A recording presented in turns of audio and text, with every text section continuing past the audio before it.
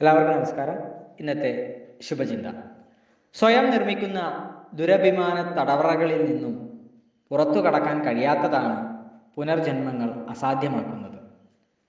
ഒരു നിമിഷത്തെ അപക്വമായ തീരുമാനമാണ് പല ദൗർഭാഗ്യ സംഭവങ്ങളുടെയും അടിസ്ഥാന കാരണം.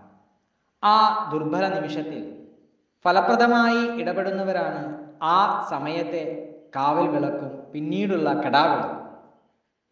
അതിവൈകാരികതയിൽ എടുക്കുന്ന അപകടകരമായ തീരുമാനങ്ങളെ അതിജീവിക്കാൻ ഒരു അപരിചിതന്റെ സാന്നിധ്യം മതി.